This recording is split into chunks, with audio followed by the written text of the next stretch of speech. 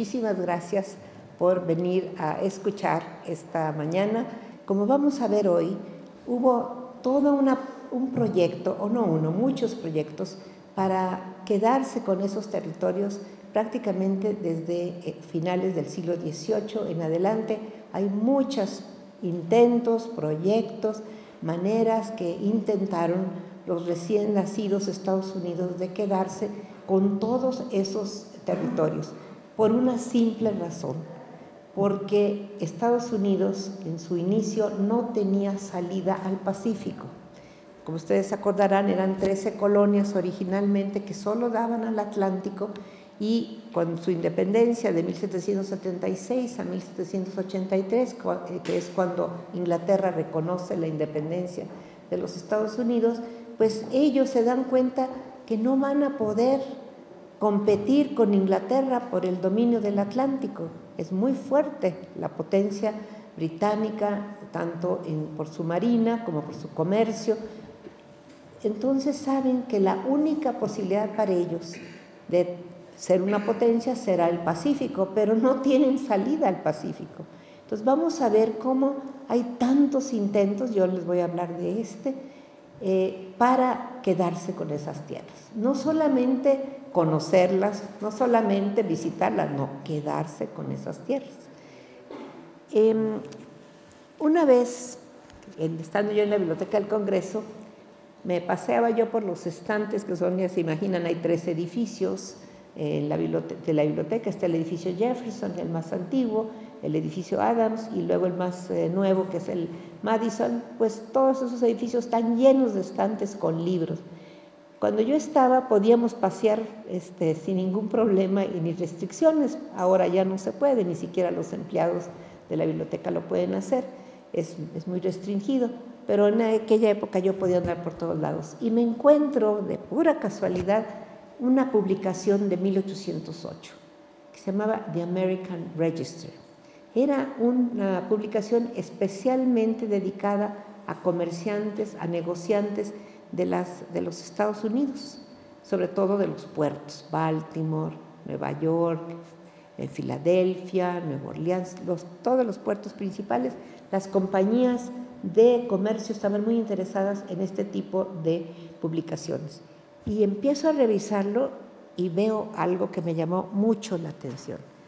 Veo un diario de un comerciante que se llamaba William Chandler. Eso ya me prendió un foco de alarma en la cabeza. Y en segundo, lo que decía el título, decía, eh, se los puedo decir en inglés y en español, en el inglés era Journal of a Voyage Between China and the Northwestern Coast of America. Made in 1804, es decir, em, diario de un viaje entre China y la costa noroeste de América efectuado en 1804. Pero no era el título que me llamó la atención, fue el nombre. Yo ya conocí ese nombre. Dije, ¿qué está haciendo este señor escribiendo un diario? Pero cuando lo leí, pues más me impresionó, porque aunque se llama así, que va, es un diario sobre la costa noroeste de América y a China, Sí, pero lo principal es su relato sobre las dos Californias, tanto la península como la Alta California. Está escrito porque hizo dos viajes, uno en 1803 y otro en 1804, y lo que dice ahí, pues me dejó sumamente sorprendida, y más porque he de decirles que yo soy baja californiana, y como baja californiana, pues dije, ¿qué es esto? Lo que este hombre está escribiendo. Pues les voy a platicar quién es y qué escribió. Bueno, cuando revisé eso dije, lo tengo que traducir a como dé lugar. Estaba en inglés, publicado en el año 8, 1808. Lo tengo que publicar, que publicar y sí, la Ibero lo publicó en, en 1991 eh, o 92 y lo publicó como diario de un viaje entre la China y la costa noroeste de América, efectuado en 1804. Si ustedes lo leen, van a encontrar lo que pensaban ya los comerciantes norteamericanos sobre cómo quedarse con esas tierras. Es toda una especie de manual de cómo se pueden quedar sin problemas tanto con la península como con la Alta California. Ese realmente es el propósito del diario. Le está diciendo a sus compañeros, eh, mercaderes o compañeros negociantes y al gobierno de Estados Unidos, señor, nunca va a poder la Nueva España, no va a poder defender esto. Esto está muy fácil, nos podemos quedar con ello. Entre muchas veces, en una, me acuerdo en una frase que decía, en una palabra, a pesar de los españoles, sería tan fácil quedarse con las Californias como arrebatárselas en, en un principio. Es decir, rapidísimo se las podemos quitar. No hay manera que las defiendan. Y lo que hace él es ir por cada bahía, cada lugar donde va pasando. Dice, aquí se pueden, eh, pueden venir tantos regimientos, tales barcos pueden quedarse en la bahía, pueden entrar, otros no pueden, cómo desembarcar, cómo tomar las Californias. Bueno, al grado que en 1803 bombardea el puerto de San Diego y no lo pudo tomar. Estamos hablando de 1813, pero este diario, el de 1804, es el que más, con mayor cuidado, va contando la historia de cada misión, tanto de la península como de la, eh, de la Alta California. Y fíjense, para luego les voy a decir todo lo que hizo, no nada más, este, yo lo conocía no por esto, sino por otro. Voy a decirles quién era. William Schaller había nacido en Newfield, hoy en Bridgeport, Connecticut, en 1773 y va a morir en Cuba en 1833. Era hijo de unas personas sencillas que trabajaban eh, cerca de los asuntos y los barcos eh, de la zona, y, pero pierde a sus padres cuando era un niño y para ayudar a mantener a sus hermanos se va a trabajar a los 14 años a una firma también comercial neoyorquina, va a aprender español, va a aprender francés, además sabía inglés, y no es cualquier muchachito em, que no está bien preparado. Es impresionante lo que este jovencito huérfano va a lograr. Eh, después me lo voy a encontrar traduciendo la historia de Nuevo Flandes o de Chile por un jesuita de los expulsados de la Compañía de Jesús en el siglo XVIII, traduciéndolo al español, una historia de Chile. Hagan de cuenta que hubiera traducido a nuestra obra sobre Historia de México de Clavijero.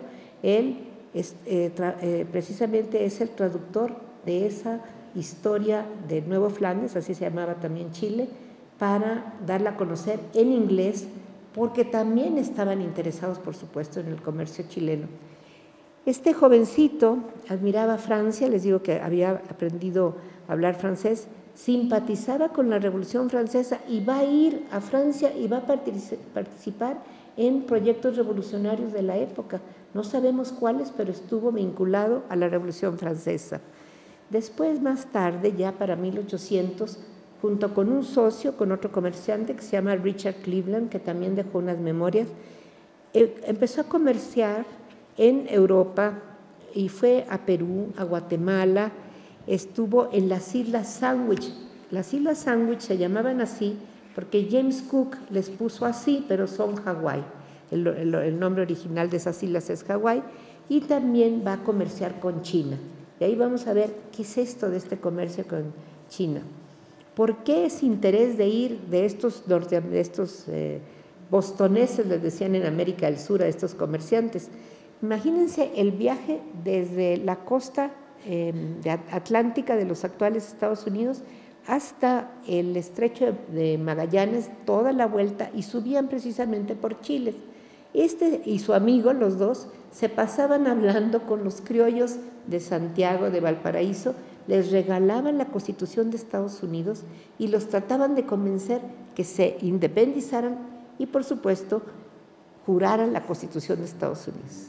Ya estoy hablando de 1802, 1803, ya lo iban haciendo así. Se decían a sí mismos apóstoles de la democracia. De apóstoles que tenían muy poco. Pero bueno, lo hacían, ¿eh? Y lo hacían, y lo hacían no nada más allí. Todo lo donde iban pasando por el Pacífico, en San Blas, aquí en la Nueva España, también regalaban la Constitución en 1803 a los locales para ver si se animaban a separarse. Bueno, en su, el, viaje que nos interesa es este, su segundo viaje a la América Española, porque eh, en ese viaje que iban en búsqueda de una eh, mercancía sumamente apreciada en dos cortes, en la corte de, los zares rusos y en la corte del emperador de China. Era la nutria. No sé si ustedes han visto lo que es un animalito de nutria, son preciosos, pero eh, la nutria más fina del mundo estaba en las Californias.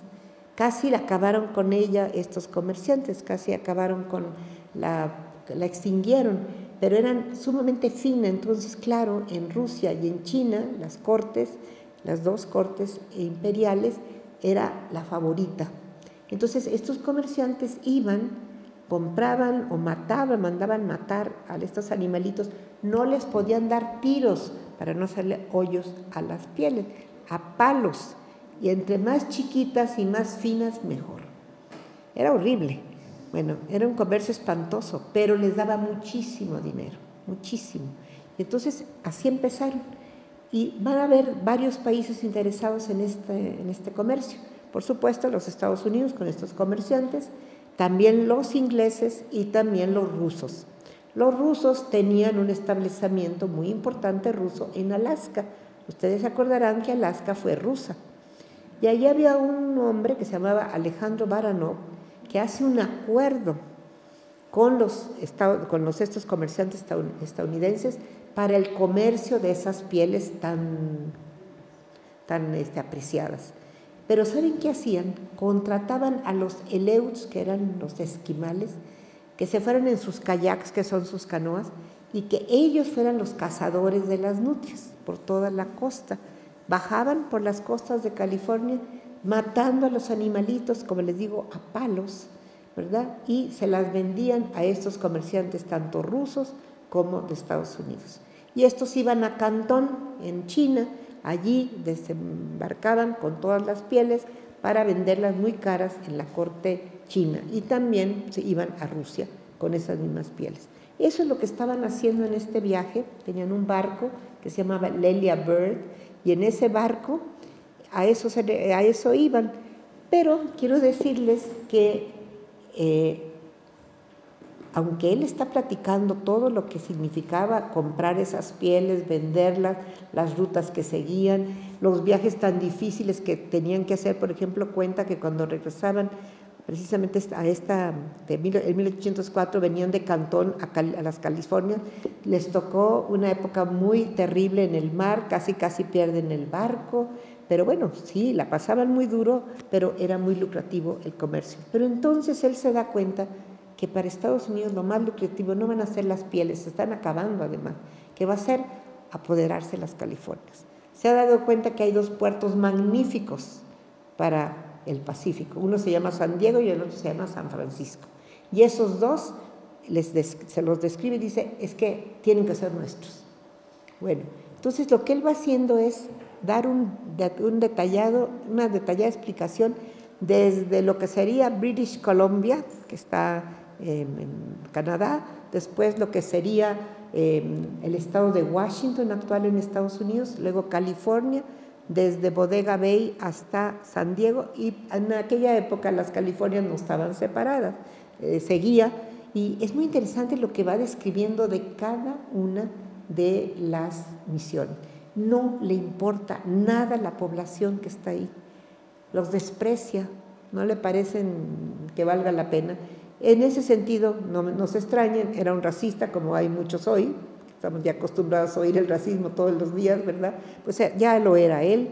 Claro, no le importan la población, es muy crítico de las misiones, porque para él lo importante era el éxito económico y no aprecia todo lo que habían hecho los misioneros en toda esta línea de misiones desde San Diego que se funda en 1769, es la primera función, perdón, misión que es el padre, eh, digo, Fray eh, Junípero Serra, el que funda San Diego en 1769, y que viene, fíjense de dónde viene Junípero Serra, viene de las misiones californianas de la Baja California, viene nada menos que de Loreto. ¿Por qué viene de Loreto? Porque ya los franciscanos, después de que habían expulsado a los jesuitas, se habían quedado con las misiones eh, de Baja California dos órdenes, los dominicos en el norte de la Baja California, de la península, y el sur los franciscanos. Estando en Loreto, este padre, este fray eh, Junípero Serra, decide con un grupito de unas 12 familias, ojo, que son novohispanas, mezcladas, muy mezcladas, hay de todo, son los fundadores de San Diego, California. A mí me da risa, yo siendo de allá, las barbaridades que dicen históricamente, aún las universidades, si ustedes van a San Diego, en la misión de San Diego de Alcalá, que si la ven no es verdadera, está hecha en los, digo, el edificio es de los 1920, se rehizo completamente porque estaba totalmente destruida, la volvieron a hacer completa, pero ahí está, San, San Diego de Alcalá se llama, bueno, está ahí, pero tiene una placa, siempre que la veo digo, ay Dios mío, cómo se distorsiona la historia. Dicen tres universidades locales, que ahí está el primer establecimiento de origen europeo del Pacífico. Señores, es una barbaridad. San Diego, en 1769, el primer establecimiento europeo del Pacífico.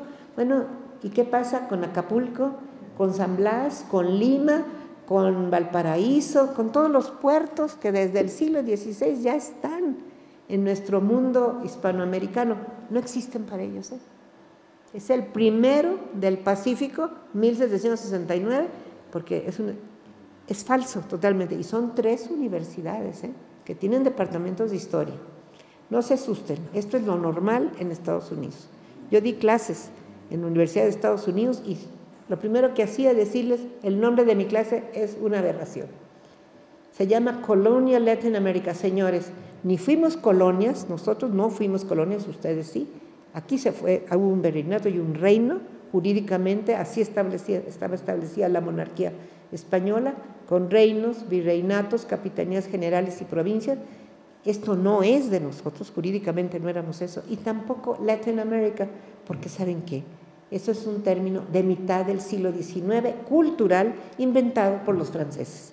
Entonces, yo estoy hablando del siglo XVI, XVII XVIII, no hay Latinoamérica, no tiene contenido, no existe. Ah, pues aquí en Estados Unidos así lo entendemos. Todas las universidades, incluso Harvard, todas las que ustedes quieran, tienen su bendito curso que se llama Colonial Latin America. Y díganles que no, yo me la pasé diciéndoles una aberración, no hacen caso. Ellos creen que saben más. Ayer, sí fue ayer, Trump, bueno, no me extraña de Trump, pero me extraña de los que lo rodean, fue a decir en Virginia que iba porque se cumplían 400 años de Jamestown, el primer lugar donde hubo un gobierno establecido común. hace 400 años, y nosotros hace 500 años qué? Y antes, ¿qué pasó con la audiencia de Santo Domingo, que es un cuerpo colectivo que gobierna lo que después fue la Nueva España, lo que fue Luisiana, Florida, todo lo que, y hasta Centroamérica? Es un cuerpo colectivo, en el siglo XVI, señor. Ah, no, ellos son primero, hace 400 años, con Jamestown. Se los juro que eso es diario allí. ¿eh? Yo me la pasé en la biblioteca del Congreso todo el tiempo diciendo esto no es cierto, esto no es cierto. La primera en la frente, ¿saben dónde están? bueno, hasta risa da, pero ¿dónde están, ¿dónde están eh, clasificadas todas las bulas papales? En tauromaquia. Porque ¿cómo se escribe bull? Y como se escribe toro, igual, bull y bull. Entonces, todas las bulas en tauromaquia. Yo llegué y no había acentos ni ñes. Y les dije, señores, esto es una falta de ortografía. Qué casualidad que el polaco tiene sus acentos y tiene todo, y todos los demás y nosotros español no. Ay, ¿qué importa? No tiene nada que ver. No, sí tiene. Es una falta de ortografía. Y la ñ, no, tiene, no importa. Ah, no, les puse feliz año y luego les puse dineña. Y se los traduje, se quedaron así. Eso es lo que están diciendo. Montana no se llamaba Montana, señores, es montaña. Y así síganle. Pero es un gran desprecio por el mundo hispánico. Quizá eh, nacido de la famosa leyenda negra que ellos manejan, ¿verdad? Pero crean, combatir eso es muy difícil. Por eso también yo quise publicar esto para que se viera sus intereses tan tempranos y para que nos diéramos cuenta que hay un proceso que explica la guerra con México. Esa guerra no tenía ninguna razón, fue totalmente injusta, tienen que inventar un pretexto. En mayo de 46 la declaran, pero con un pretexto que inventaron, porque no encontraban cómo eh, declarar la guerra. Están todas las instrucciones a este, ¿cómo se llama?, al, general Zachary Taylor, que estaba en la frontera, y haga un accidente para poder nosotros tener un pretexto. Meses y meses le piden que haga un accidente y no lo hace, no lo logra, hasta que un día se mete a territorio mexicano, ataca una patrulla mexicana y la patrulla le contesta. Y entonces Paul, que el presidente, va a decir en el Congreso, señores, han derramado sangre americana en territorio americano. No era verdad, pero con eso, en mayo de 46, declaran la guerra a México. Les surgía porque no habían podido conseguir comprar estos territorios. Si ustedes vieran cuántos intentos hay de compra, y la excusa era yo los leí todos, recibí los archivos, vi todos los este, expedientes de los agentes. No se llamaban agentes secretos, les llamaban agentes del Ejecutivo, porque solo le daban información al vicepresidente, al presidente y al secretario de Estado. Al Congreso de Estados Unidos no le decían nada, era directamente con el Ejecutivo. Esto va a ser este señor después de este viaje. En este viaje, pues escribe todo eso, va diciendo aquí es muy fácil quedarse, esto nos puede servir para tal cosa, se produce tal cosa, etcétera, etcétera. Pero lo, lo escribe hasta el año 8. Ya para el año 10, ¿dónde estaba este William Chandler? Es agente del Ejecutivo. Trabaja para James Monroe, que era secretario de Estado. ¿A dónde lo mandan? Lo mandan a La Habana, a Cuba. Le piden que convenza a los cubanos de separarse de España y aceptar la constitución de los Estados Unidos no logra nada, lo corren. Entonces viene a Nueva Orleans y ahí se va a encontrar con un ex, eh, eh, había sido diputado en las Cortes de Cádiz, en Cádiz, en España, era cubano, se llamaba José Álvarez de Toledo, había representado a la mitad de la isla de lo que es Santo Domingo, hoy la República Dominicana, pero ese señor estaba en Nueva Orleans. Es un caso muy chistoso, raro y también muy especial. Servía a cuatro diferentes jefes, a Inglaterra, al gobierno inglés, al gobierno de Estados Unidos, a, al gobierno español y a los insurgentes, a los cuatro, a la vez. Por supuesto, al final va a traicionar a los insurgentes y va a entregar toda la información a, a Luis Dionís, el embajador español en Estados Unidos. Por eso tenemos los papeles, los papeles existen hasta su diario. ¿Por qué? Porque se los vendió a Luis Dionís y Luis Dionís cuando se regresa a España quedaron en familia y un banco mexicano en el siglo XX los compró. Pasaron años y, se acabó ese banco y la presidencia de la República los, los, este, los compró. Nosotros, Tere Franco y yo los publicamos en una obra que el Senado de la República publicó que se llaman Pliegos de la Diplomacia Insurgente porque ahí cuentan la historia de los intentos de los insurgentes de hacerse de armas, de voluntarios y de negociar con Estados Unidos apoyo a la insurgencia, que fue un fracaso total, perdón, total fracaso, horrible. Eh, da dolor leer esos 72 documentos porque uno ve la desesperación ya de la insurgencia que está prácticamente completamente derrotada y su única esperanza le queda en la ayuda exterior. Y la ayuda exterior no fue ayuda, era negocio y era lo único que importaba. Y se van a estrellar contra esa actitud. En el diario de uno de ellos, que da pesar porque uno ve lo que eh, dicen, pero si los fusiles cuestan 3 dólares en el mercado y a nosotros ustedes nos los quieren vender a 25 dólares. Contestación de los comerciantes, ese es el precio de la libertad. Era negocio. Y entonces esa es una historia triste. Pues ahí está Schaller. Schaller se encuentra con José Álvarez de Toledo, uno de estos, y juntos invaden Texas en el año 1810. No logran nada, los sacan para afuera, vuelven en 1813 y otra vez los sacan para afuera. Pues los realistas, el ejército realista allá en el norte los saca, los manda otra vez para Luisiana y entre los que sacaron a estos dos, que llevaban un montón de filibusteros de origen de Estados Unidos que los llevaban eh, a invadir Texas, y un muchachito de 14 años, ¿saben cómo se llamaba? Antonio López de Santana, que ya andaba en Texas allá a los 14 años sacando estos filibusteros para afuera. Pero dejan algo, yo lo vi eso en el archivo de los National Archives en Washington. Los dos escribieron, tanto Álvarez de Toledo como Schaller, escriben dos periódicos. Uno se llama La Gaceta de México, nomás sacaron un número porque los corrieron, y luego hacen otro que se llama El Mexicano, el único periódico bilingüe de la insurgencia porque la mitad le escribe en español José Álvarez de Toledo y la otra mitad Schaller en inglés. Existe solo un número de cada uno porque como los corrieron ya no pudieron hacer más. Pero es interesante, ahí andaba y lo volvemos a encontrar en otros momentos, siempre tratando de conseguir la independencia de la Nueva España. No lo logró, va a acabar de cónsul de Estados Unidos en La Habana y va a morir de una epidemia en 1833.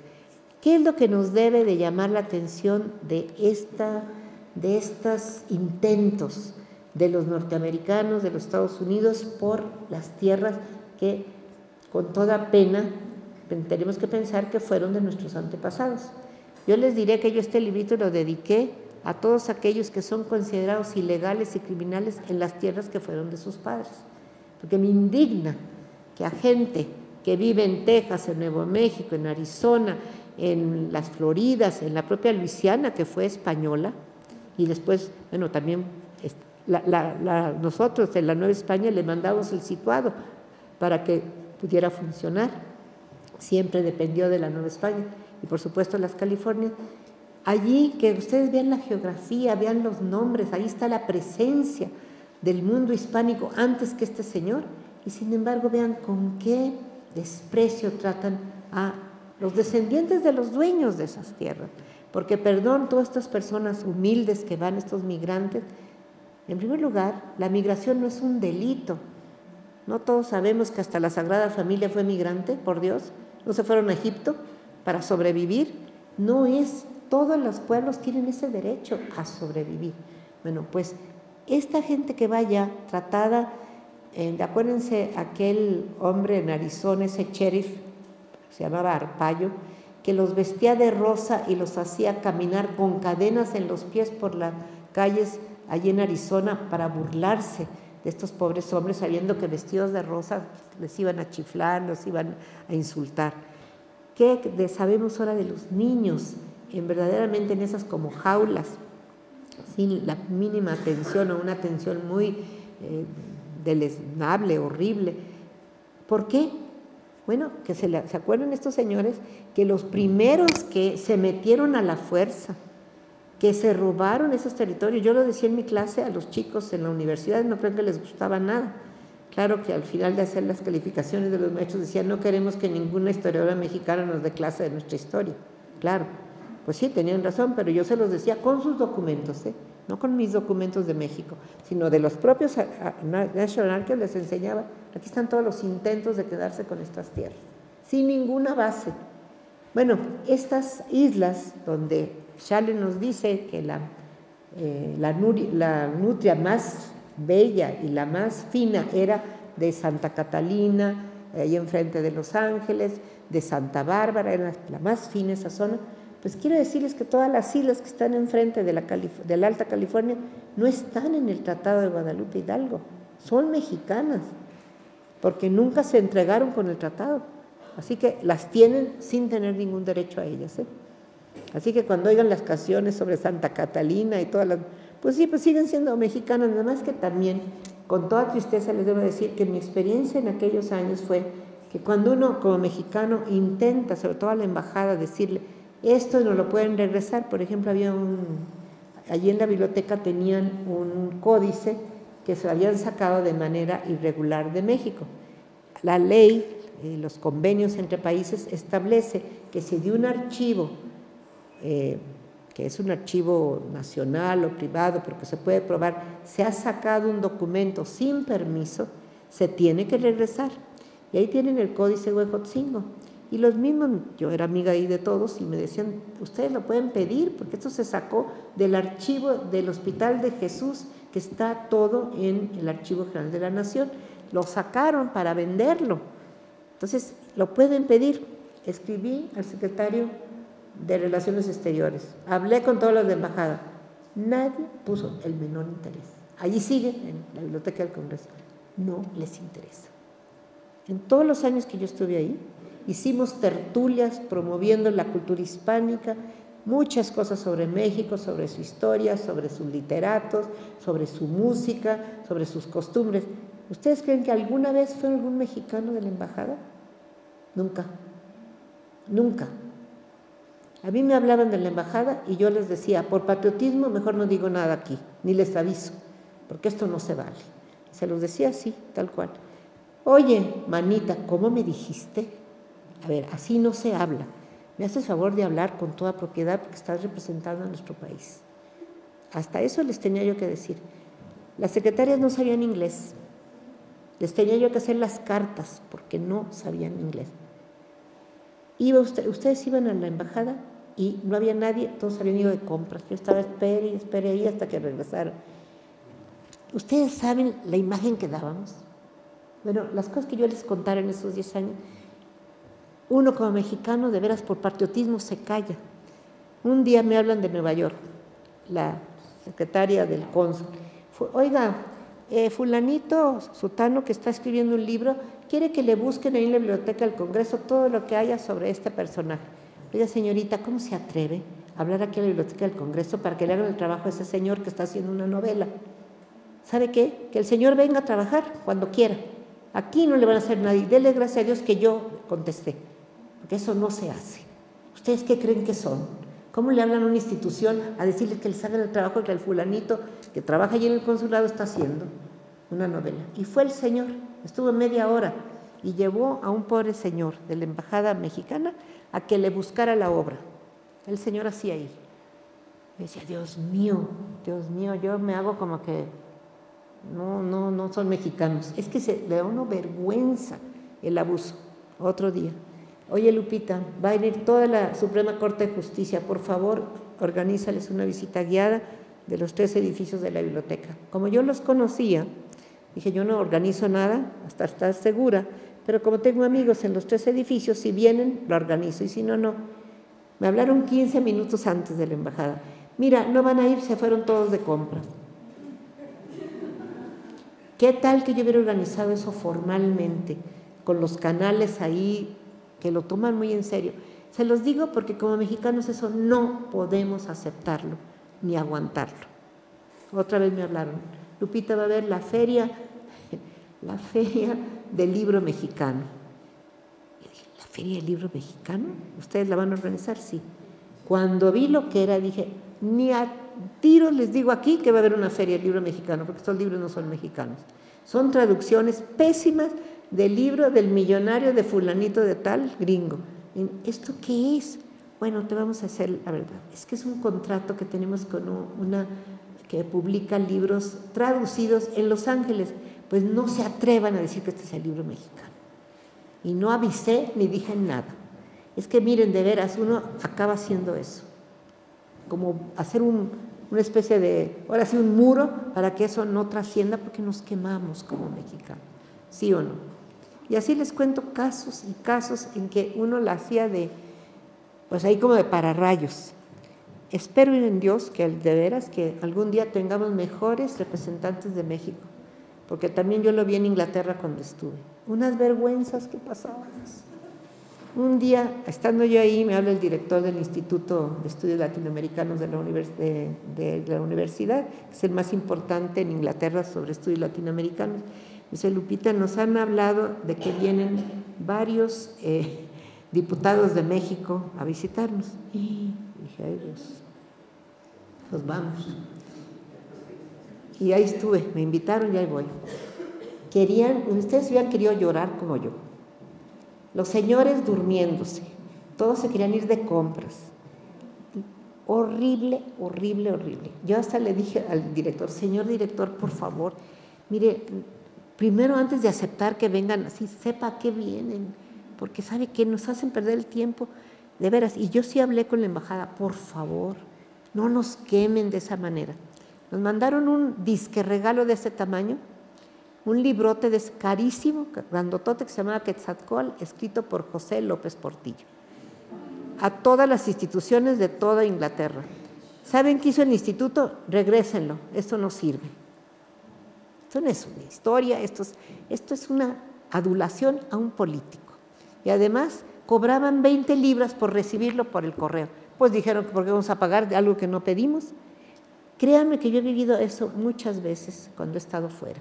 Y como mexicana trato de, de cubrir esas cosas. Otro día también me hablaron de la embajada en Washington. Queremos que vaya a ser este, guardia a la estatua de Benito Juárez. Señor, yo no hago guardia a nadie más que a mi bandera. Cuando sea la bandera me hablas. Y no fui. Porque ¿qué les pasa? Otra. Oiga, la vamos a invitar a esto, pero no la podemos invitar más que a usted sola. Su esposo no puede venir. Oiga, ¿por qué? Pues es que aquí pues tenemos que contar el número de personas y pues no puede usted venir más que usted. Pues entonces no me pongan en la lista porque no voy. La embajada mexicana es México, no es los gringos que hacen esto a cada rato. Venga usted sola. ¿Sabe qué? No voy. Y por favor, tengan la delicadeza de actuar como mexicanos. Ustedes saben que yo, si no invitan a mi esposo, yo no voy. Entonces, por favor, no hagan eso. Pero se los digo para que estemos muy al tanto y estemos también, yo creo que es tiempo que nosotros hablemos. No tengan miedo a hablar, no tengan miedo a defender. Siempre he dicho, y ahora estoy preocupada por eso, que tenemos ante ellos que ser muy dignos y mantenernos firmes, nada de someternos, porque nos tratan peor. Cuando yo llegué a la Biblioteca del Congreso, soy mexicana, llegué como mexicana, como extranjera, lo primero que me dijeron, usted va a jurar la Constitución de Estados Unidos y la bandera de Estados Unidos. No, señor, yo no juro nada. Yo tengo mi Constitución y tengo mi bandera. Ustedes me están contratando como extranjera y como mexicana. Fuimos al jurídico de la biblioteca y dijeron, tiene razón, ella tiene su bandera y tiene su Constitución. Yo les dije, yo la respetaré, pero no la juro, porque no soy su ciudadana y lo respetan a uno. ¿eh? La siguiente en la frente, llego a la división hispánica.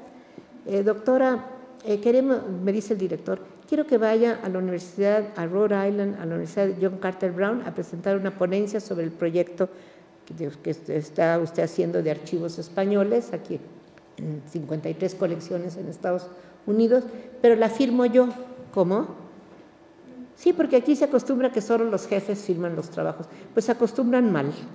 Porque aquí esta autora es la autora y hay derechos de autor. Usted quiere ir, vaya usted, pero usted escribe de lo que no sabe. Pero si usted quiere que vaya, yo escribo y yo firmo. Pero es que aquí la biblioteca, a mí no me interesa lo que hace la biblioteca, porque hay una convención de Viena que Estados Unidos firmó, que es sobre los derechos de autor. Y el autor no se puede cambiar por otro porque usted es el jefe. Lo hacen, ¿eh? Lo hacen porque yo tengo amigas que han hecho la investigación y el jefe del tal museo es que él lo pone su nombre. Lo hacen todo el tiempo. Pues miren, ante eso pues tuvo que aguantarse, fui yo con mi nombre y con mi ponencia con mi nombre. La siguiente. Mi libro tiene 1050 páginas de la Biblioteca del Congreso. Bueno, oye, aquí no ponemos el nombre del autor, nomás ponemos The Library of Congress. Ah, no, aquí pone el nombre del autor, porque ¿saben lo que me costó esto? muchísimos años de trabajo, 53 colecciones de 49 instituciones de Estados Unidos, de sus archivos, y ustedes quieren que ponga The Library of Congress, no. Es que aquí así le hacemos, pues lo hacen mal. Vamos al jurídico otra vez. Oigan, señores, si la convención de bienes, no, tiene razón ella, tiene que estar su nombre. Si uno se deja, lo aplastan, se los juro. Esto a mí me tiene preocupada ahora con lo de los migrantes. Cada vez que se le rinda más a Trump, nos va a ofender y se va, a abusar más. Nunca le vamos a dar eh, gusto. Créanme, como mexicanos, piénsenlo, siéntanlo y tratemos de tener dignidad, porque entonces nos van a respetar. Así son, ¿eh? Y aunque sean mal, hay muchas muy buenas gentes, pero así son, creen que son el centro del mundo. Ahí me decían, somos la mejor eh, biblioteca del mundo. Los mejores, ah, no son. En la, sección de manuscritos cometieron un error garrafal, solamente con los manuscritos en español, ¿eh? fíjense con quién, con los ingleses, los alemanes, los otros, no, nomás con los españoles. Entonces llego yo y empiezo a revisar las cajas que tenían.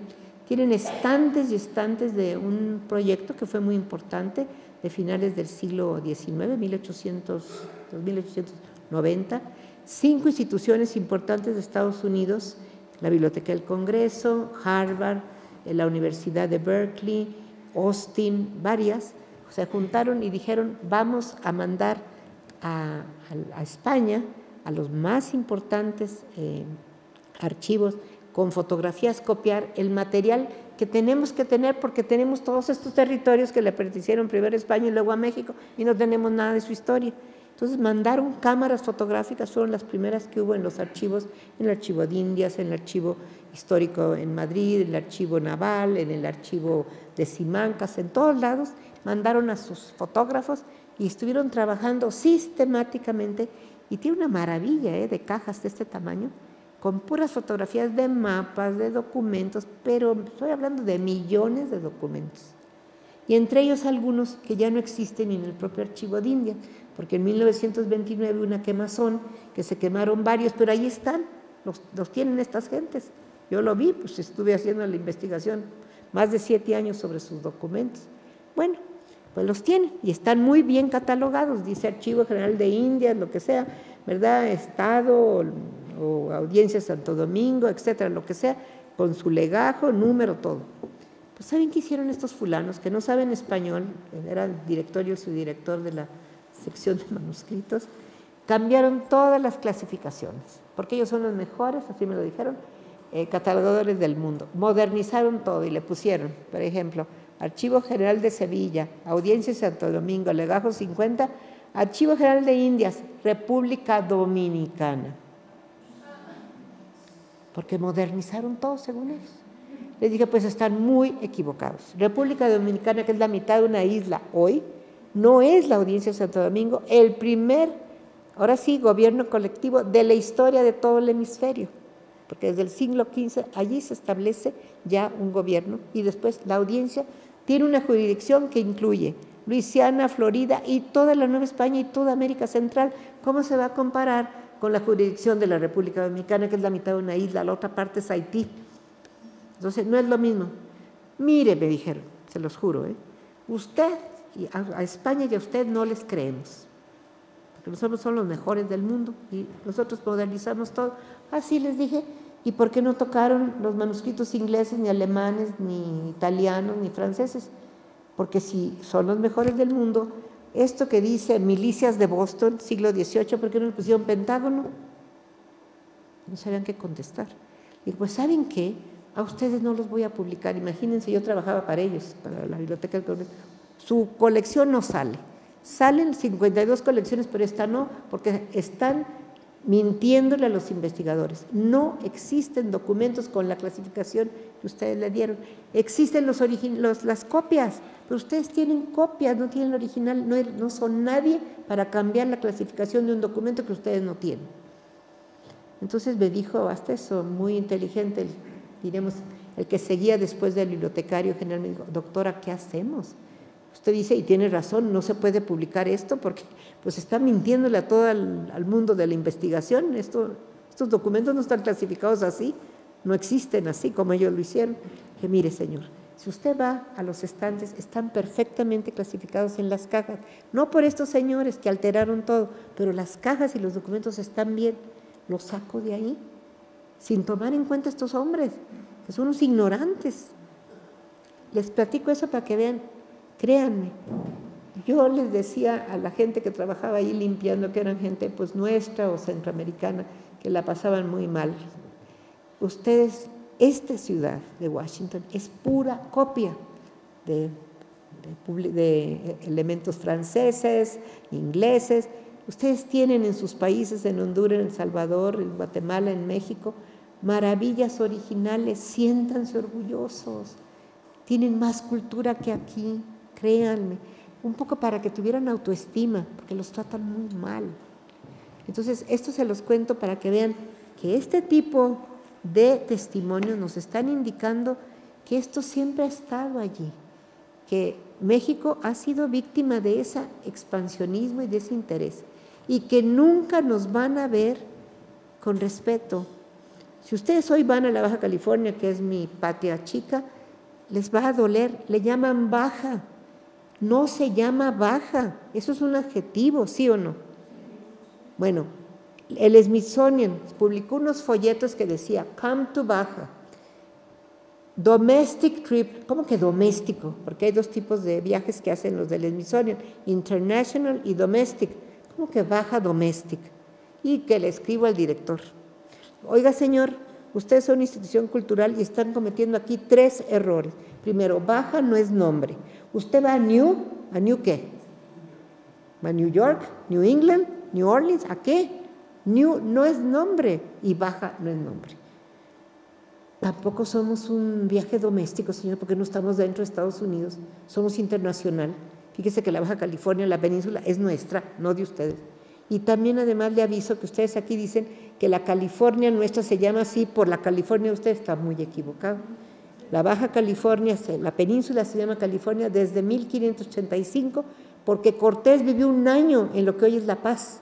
Le puso Santa Cruz, y allí vivió un año Cortés y la llamaron California por un librito de aventuras, de un librito de caballería que se llama Las Sergas de Esplandián, que es el último libro de la serie de Amadís de Gaula, que son cuatro, y este es el hijo de Amadís de Gaula y su librito se llama, sigo su historia, se llama Las Sergas de Esplandián, Esplandián es él.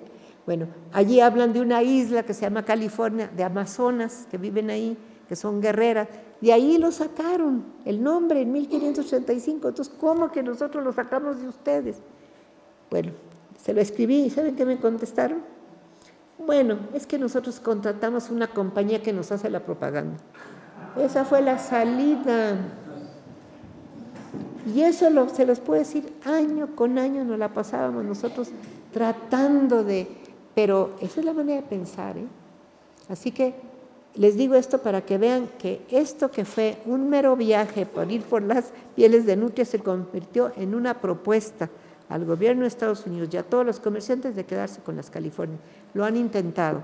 Cuando uno ve la guerra de 46-48, saben que tanto la Baja California como la Alta California estaban allí, los Marines ya estaban desde el año 45, antes de la guerra ya estaban y no se salieron. Estaban ya tomadas la península y tomada la Alta California, ya no se salieron. Esperaron el pretexto, declaran la guerra en mayo de 46, pues ya estaban ahí los Marines. De puro milagro nos quedamos con la península, de puritito milagro. Y quiero avisarles que siguen insistiendo que la quieren comprar. Ahora, ya le llaman baja. Y lo más grave, yo sí se les dije al Departamento de Turismo, ¿cómo es posible que nuestra Secretaría de Turismo le diga baja? que se lo digan ellos porque son ignorantes, pero nosotros, llamarla baja, ¿qué nos pasa? ¿Verdad? Fíjense cómo uno se puede, se puede autodegradar. Eso es porque los que quise yo venir a hablarles de esto, que es esta primera narración de un estadounidense sobre las Californias, en donde se ve clarísimo ya la intención de quedarse con ellas. Lograron quedarse con la Alta California, pero la península, yo para mí la veo que peligra. Si ustedes ven los cabos cómo está, vayan a los cabos. Llegan los barcos, se baja uno del barco, no le piden ni siquiera el mínimo papel. Entra todo mundo, se pueden quedar ahí y hacer lo que se les pega la gana. Cabo San Lucas, Cabo Los Cabos, a mí me dio una tristeza ver, parece un cabaret de los gringos. Está lleno de pura bebedera, eh, horrible. Es decir, ¿qué hemos hecho con un lugar tan hermosísimo? Bueno, si los mexicanos no defendemos, si los mexicanos no nos oponemos a eso, si no hacemos oír nuestra voz, pues eso va a seguir pasando. Hoy las casas más caras, los terrenos más caros de los cabos de San José del Cabo y de Cabo San Lucas, están en manos extranjeras. Y lo hemos permitido. La constitución lo prohibía. De Salinas para acá ya no. Entonces yo sí digo, y se lo digo de corazón, estemos atentos, pensemos que nadie más que nosotros podemos defender a México, pero lo tenemos que defender defendiéndolo con dignidad, no dejándonos que nos aplasten. Entre más se hinque uno, más lo van a patear. Eso se lo digo por experiencia. Ya para último les contaré una escena que a mí me pareció, uy, se venía 1992, eran los 500 años de Estuvo muy curioso porque estaban que no sabían cómo explicar que Colón nunca pisó tierra de Estados Unidos. Pues, ¿cómo le hacían? Descubridor de América, ellos son América, eso es otra. Son ellos nomás, nosotros no somos América, les aviso. Ellos son América, por eso uh, we are going to make America great again y América y América, babosadas. Ellos no son América, somos todos, somos 35 naciones en América. Bueno, pero lo curioso fue para 92, a mí me daba risa ver que cómo le hacían, pues cuando pues Colón no pisó nada de Estados Unidos. Entonces, ¿qué hacer? Pues no sabía ni cómo inventar, ¿verdad? Entonces, bueno, este, ¿saben que en ese momento el que era el, director de la división hispánica era un señor muy feo, muy malo, que era un sociólogo que se especializaba en Rusia, no tenía nada que ver con el mundo hispánico, pero era muy amigo del bibliotecario general que era especialista en ruso y metió a su amigo de director de la división hispánica. Grosero, eh, este, ofensivo con todo lo que fuera este, hispánico, imagínense. Y llega en ese momento. Entonces nosotros habíamos fundado una sociedad hispánica en la Biblioteca del Congreso, se llamaba Hispanic Cultural Society. Y todos los meses hacíamos una tertulia, con ese nombre, la tertulia, y hacíamos alguna conferencia sobre algo de nuestra cultura, de todo el mundo hispánico. No saben qué éxito teníamos, ya teníamos como 100 gentes que iban de todos los tres edificios ahí y era gratis y nosotros hacíamos todo nosotros. Yo le había dicho, yo la organizo con 5 dólares a la semana porque me han dicho que era carísimo hacer eso. No, no, yo con 5 dólares lo hago. No hubo un solo intelectual, un solo conferencista que no me aceptara por 5 dólares darme la plática. Yo le decía, mira, solo tengo 5 dólares y te alcanza para un sándwich y un refresco. ¿Cómo ves? ¿Me das la plática? Nunca me dijeron que no en todos los años que estuve. Bueno, entonces así hacíamos eso. Bueno, entonces este tipo eh, ¿saben qué organizó el fulano ese? Un cóctel para invitar a todas las embajadas, eso era lo único que le interesaba. Y le habló a la presidenta de nuestra Hispanic Society, la Cultural Society, que era una, señora negra de Puerto Rico, eh, buena gente, pero ah, con todo respeto diré que tenía un poco un alma de esclava, la pobrecita así, sometida totalmente. Entonces le habla este hombre y le dice, oigan, queremos que su sociedad de sus miembros sean los que sean los meseros del cóctel, ¿sí? se los juro. Y además que eh, atiendan en, el, en el estacionamiento a la gente. Y me dice a mí, que yo era la vicepresidenta que había llegado a eso, y que me indigno, como no tienen... ¿Cómo dijiste? ¿Cómo se te ocurre decirle que nosotros vamos a ser los meseros de su cóctel?